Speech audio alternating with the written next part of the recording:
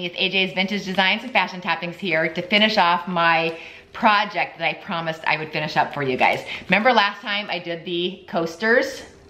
And I did a really easy technique to get that paint pour look. And it actually is a paint pour, but it's much easier and you can get, your paint goes so much farther.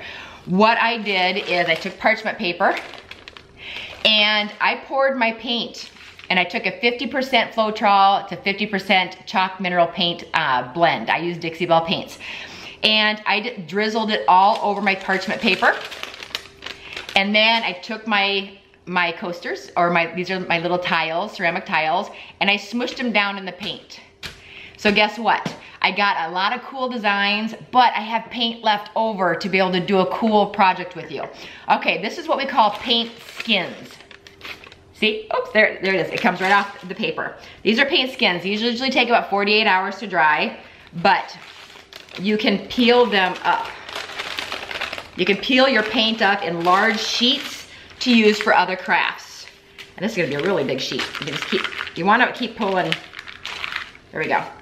So it comes off in big sheets. So I'm gonna tear this a little bit smaller so I can hold it up for you. Isn't that cool? So what I'm gonna be doing today is I'm gonna making some jewelry with it. Now this, you can you can decoupage this on a glass vase, which I'll be doing in an upcoming video. You can decoupage this onto furniture. It's pretty cool. And the thicker your paint is, the more sturdy it is too. And I have paint skins from past paint pours. Look at that, look at the colors in that.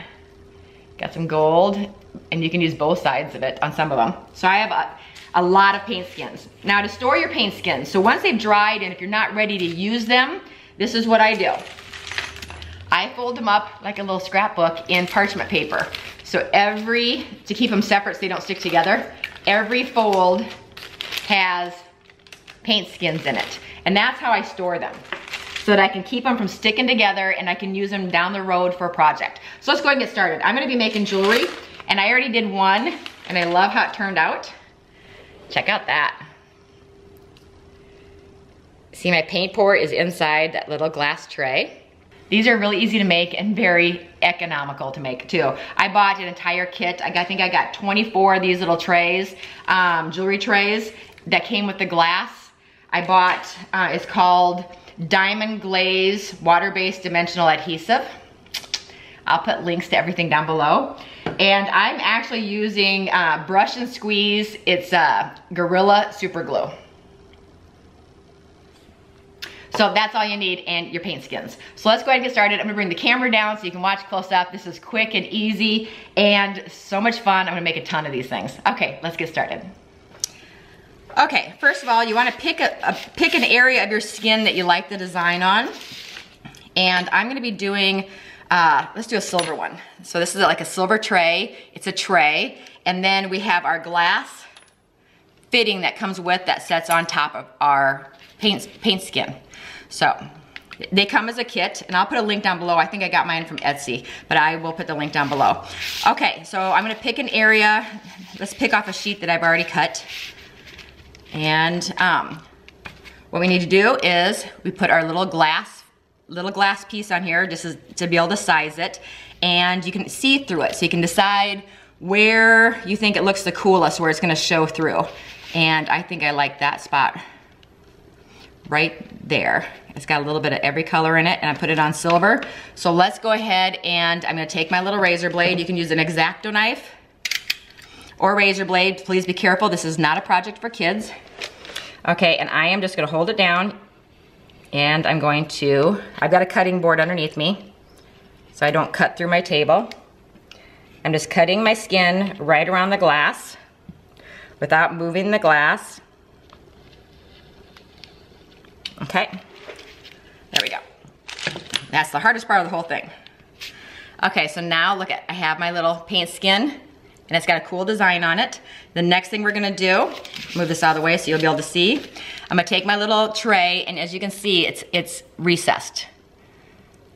See how it's recessed? Okay, so what I'm gonna be doing now, even the back of the skins are kind of cool. They got little pastel, pastel swirls in them.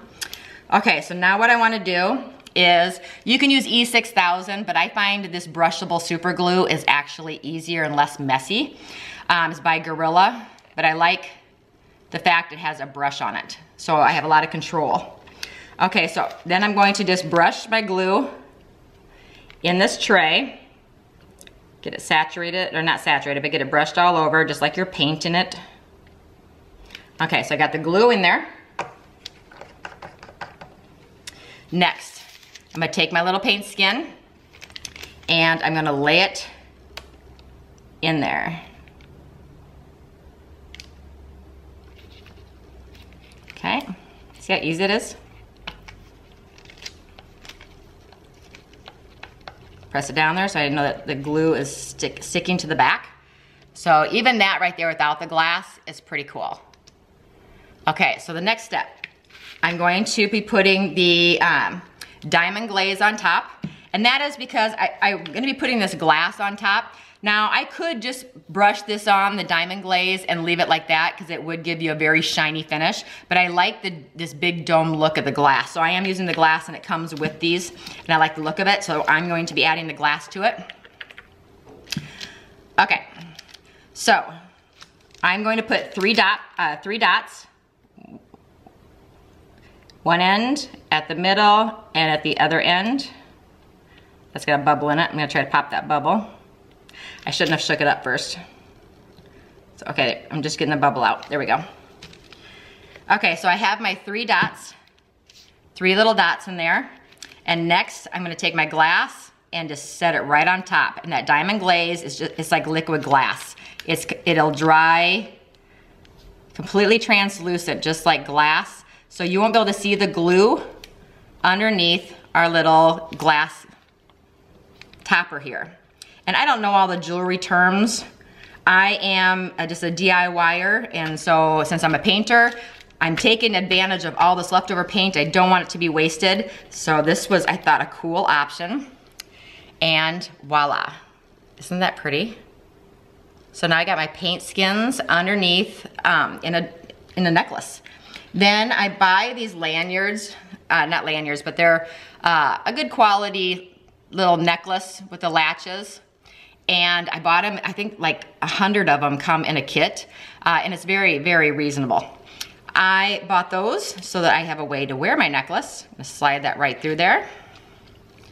And voila, I now have my own custom necklace using my custom paint skins. No waste going on here. I'm not wasting all this paint that I, you know, purchased and, and uh, used for a project. I'm not gonna throw this away. I'm gonna find things to do with it.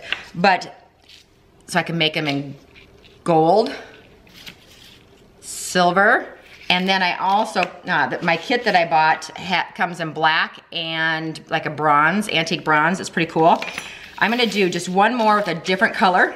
This is an old paint skin that I did uh, a couple weeks ago. I'm gonna find a better skin. So I'm gonna look through my skins and see which one has kind of a cool print to it. I'm gonna use this one and I can do the same thing.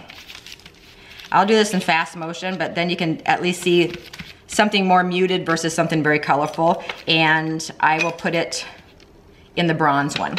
Okay, so let's go ahead and get started and I'm gonna do this in fast motion.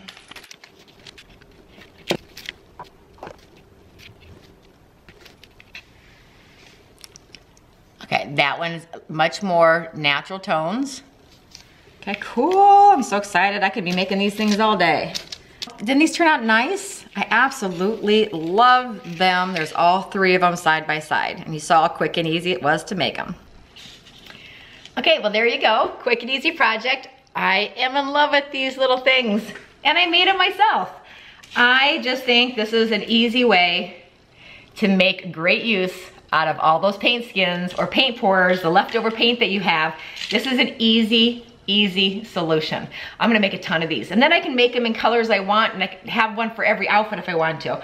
Okay, and I'll put a link uh, also here at the end with the video on how I made the coasters and how it actually gave me my paint skins that I was able to use for this project. So this is a fun little DI fashion project.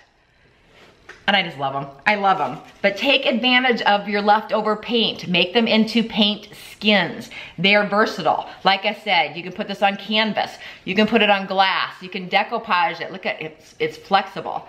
You can put this on pretty much anything you want to. So save your paint skins. Now the jewelry, I do recommend letting them sit 24 to 48 hours so they, that glue gets to set up and is completely dry before wearing them. But uh, I put mine on right now anyway, just because I'm so excited. So, okay, well this is a quick and easy project. My name is Amy with AJ's Vintage Designs. If you're not already subscribed, please subscribe down below and click on that little bell. That way you get notified each and every time I put a new video up. I do a little bit of everything here, painting, sewing, crafting, uh, and I have a lot of videos I can go through and binge watch as well. And uh, that's about it. You can follow me on Facebook at AJ's Vintage Designs where I do free painting tutorials every Friday night and I have a library of videos there as well. Okay, until next time, I hope you have a great day. Bye-bye.